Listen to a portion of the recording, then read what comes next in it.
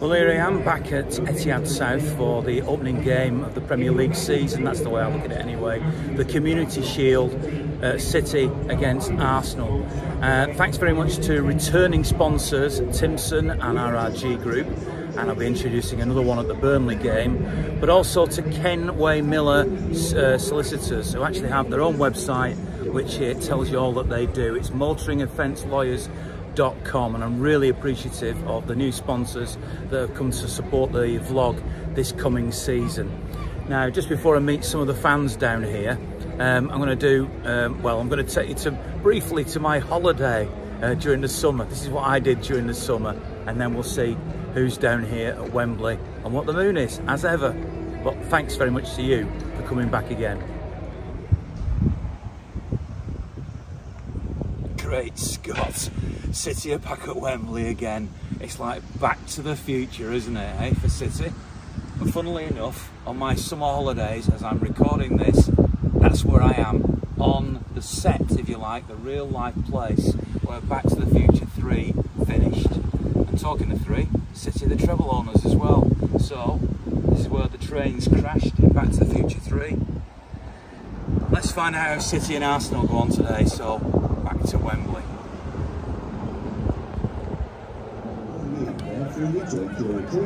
get some food, and enjoy some sounds with our wrestling DJs. If you're carrying a flag today, so you're back at Wembley again for the umpteenth time. I know there are a lot of City fans who are boycotting this game and they decided to give the money to the food bank and the reason for boycotting it is because of the kick-off time, 4 o'clock on a Sunday. And I suppose really it's a campaign that they are doing on behalf of everybody. So how do you feel about them missing it and you being here? Um, I think it's absolutely tremendous what the guys are doing, personally. But football's football, sadly. Uh, fan base. Uh, Wembley, it's one of them trips we've done the last couple. We've been very lucky to get here. Well, I personally think we still got to still got to fly the fly the flag for Man City. So sadly, Wembley, here we are once again think it's a battle the fans can ever win in terms of making kick-off times more fan friendly? It would be nice to. I mean, obviously they've changed to one hour, which is a big, big time, which is great. But obviously three o'clock, yeah, sensible, families, etc. But absolutely, yeah. And obviously the things that are going on with the rail strikes, etc. Yeah, they should think of it a little bit more the City fans, as we're going to get you, hopefully, a lot more. What about today? How important is it? I think it's very important. And there's no such thing as a friendly, personally. I think it's a good it's a statement needs to be put down today. And on below, I think that's what we'll do. Just tell me what you're thinking about today then and how important it is. I think we'll win 3 0 today. But the question is, how important is it not what the score's going to be? Well, it's important. Why? Because it's only a charity game, isn't it? Yeah, Pep are not quite ready. We win this and the Super Cup and the other one, the Carabao, we've got all of them in 12 months. So I want this today. Sex team was big, massive. Pep's, Pep's claimed that the team might not be quite ready yet. Do you buy into that? No. Arsenal lost to United in pre-season. They're not going to beat them. So it's a bit of psychology from Pep. Yeah, as always as he always does. Do you know what truth? I couldn't. I'm not really that bothered, but it's just one of them things. I'd love to win it. Yeah, it's another trophy because I call it a trophy. Yeah, but if we win it, them lot will be calling it the Mickey Mouse Trophy like they do. Them at Scousers, won't they? Yeah, if they win it, there's a bus parade around Manchester, isn't there? Yeah. That's what it. about the turnout? I mean, obviously there was a bit of a worry that City fans wouldn't come because there's been a boycott organised by the 1894. I thought it was pathetic, that. I thought it was pathetic, to be honest. A mate of mine, uh, an old fella I know, that you, his wife goes to City out matches at City, and he's uh, he was one of them who instigated it all, and he's in Blackpool today. Said, I'm not even watching match. And he's a City fan all his life. So by your actions, you think everybody should be here? Yeah, I do. What do you feel, Thomas? Yeah, I think they should be here, yeah. Still support City. Look forward to the new season. Move on. Do you classify this as a glorified friendly or as a trophy or well it, uh, I mean it's originally it is for charity isn't it that's that's the origins of the game so I'm assuming that's where the the profits still go so no for me carry on does City win this because they're underprepared, says Pep, because they came back two weeks later than Arsenal. Yeah, well, I think I think the, I think the pre-season friendlies have gone up a notch.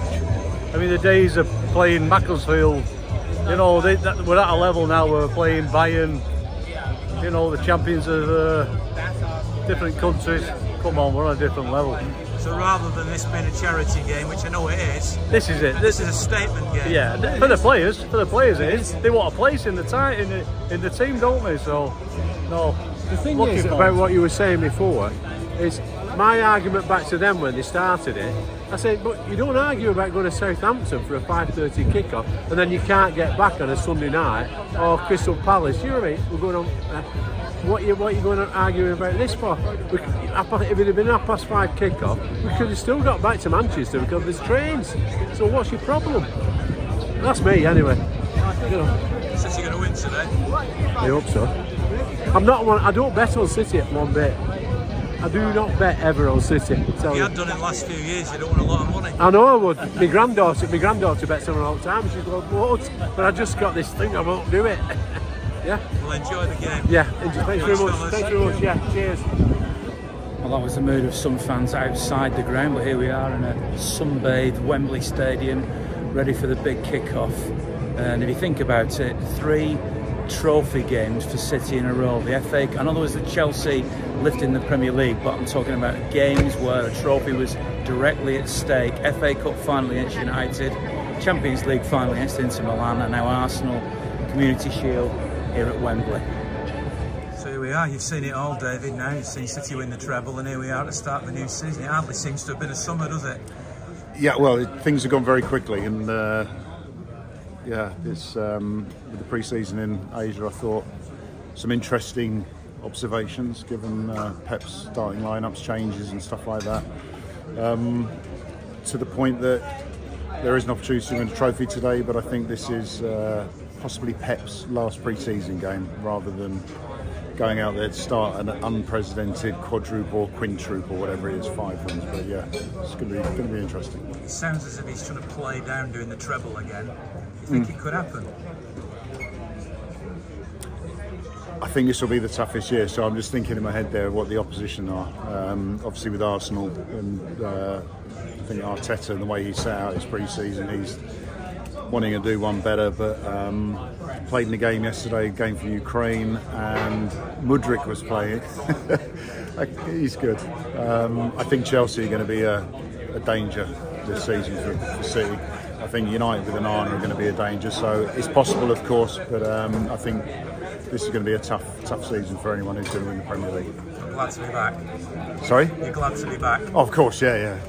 What's, what's, what's the point of having a summer? Today's trip to Wembley mean to you?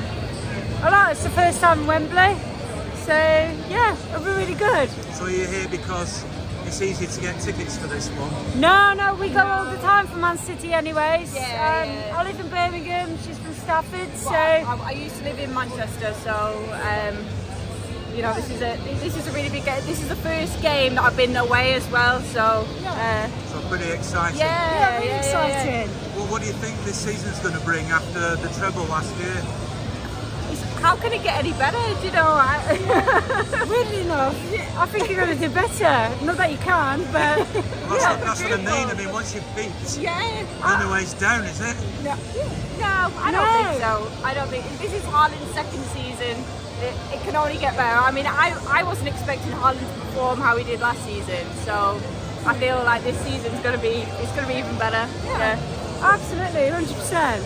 And is today an important game, or do you just see this as a testimonial type game? Just, uh, yeah, I'm going to go with testimonial. I disagree. I feel like all games, they're all important. They're all important. So, um, you know, I'm, I'm, I'm hoping for a win. It will, it will. I feel like it will define what's going to go further on in the season. So, yeah, no, this is an important game. Yeah. Two early goals. Arsenal get one second half and then a late goal to finish it off nicely. That's what In I think. general terms, after City have won the treble, yeah. what happens now? Got to win it again got to keep going, keep going, stronger and stronger every season. So you think City can do it again? Another I do. Treble? I, I think they I don't think they'll do it next season, but I think it will happen again fairly soon. Yeah. I do. I think it'll take time to rebuild. We've lost a couple of players, but I think we will rebuild again. Obviously, City have lost two key players so far. They have. In Gundogan, who I thought was magnificent, and Mahrez. Yeah. Kovacic and Gvardiol has come in. Yeah. Does that strengthen, weaken? Time will tell. I think John Stones will do well stepping into midfield. I think he'll replace you know, the weakness there that we've got now. So. Pretty confident. I'm confident, yeah. After all these years, we've got to be confident at last, haven't we? What do you think the score's going to be today? 3-1 City. So you're confident too?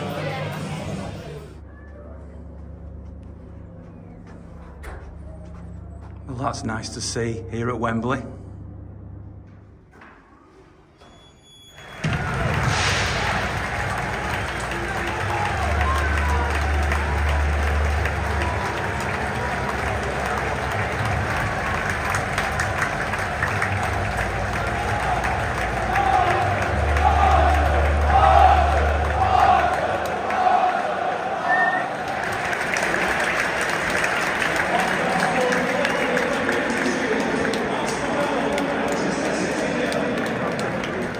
Was an even first half. I thought City started brilliantly with Akanji in particular getting up high on the left. Crossing, it was only a Ben White header that stopped Alvarez from opening the scoring, but then Arsenal grew into it. Despite their frustration, maybe it fueled them with a, a few yellow cards uh, for dissent. Um, they actually started pressing Man City back, and, and Kai Havertz had a couple of chances that were really well saved. Um, and they'll have some momentum, some confidence going into the second half. But with City, you just never write them off, and it wouldn't surprise me if they come through strong and pick up yet another trophy.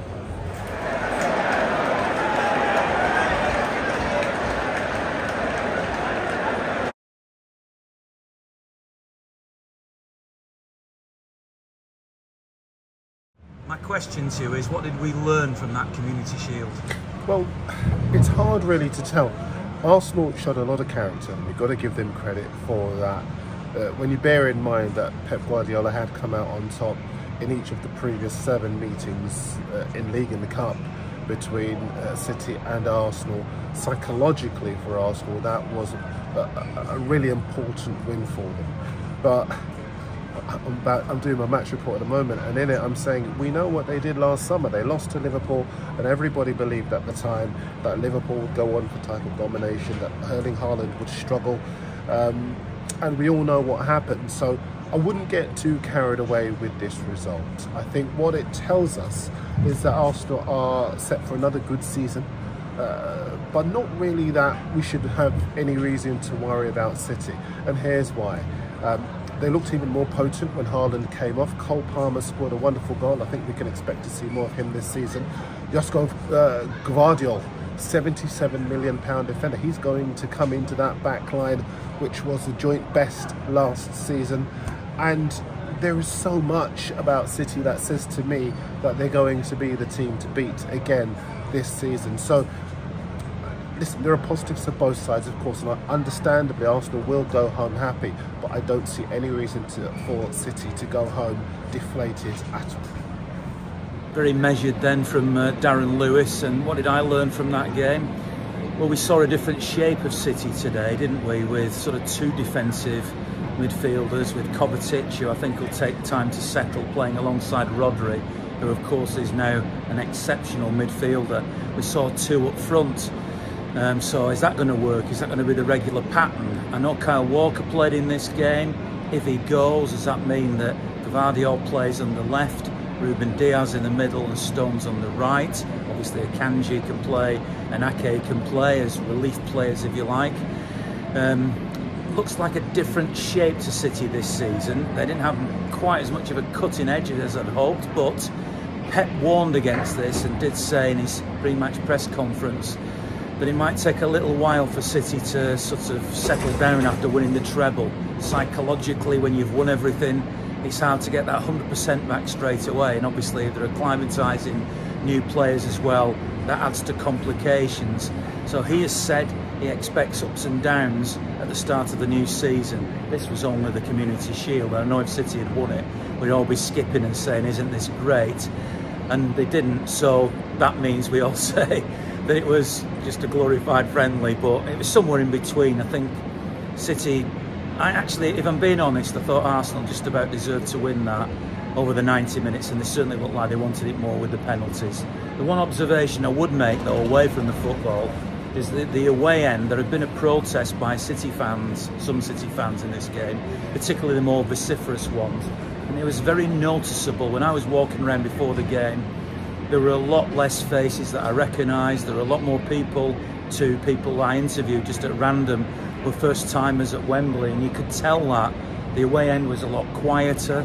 There wasn't that backing, and I think that's a lesson that needs to be learned from this game, from City, from everybody that City's fans are very, very important. They'll be back, of course, at Burnley, but don't take the fans for granted. Either the FA, the UEFA, or anybody else by having these kick-off times and moving games like this to, well obviously I know it's traditionally played in London anyway but take the fans into consideration a little bit more and never underestimate the value of supporters without fans there is no game but City fans are the best anyway. So I'm bound to say this, aren't I? Despite defeat, still great being a blue.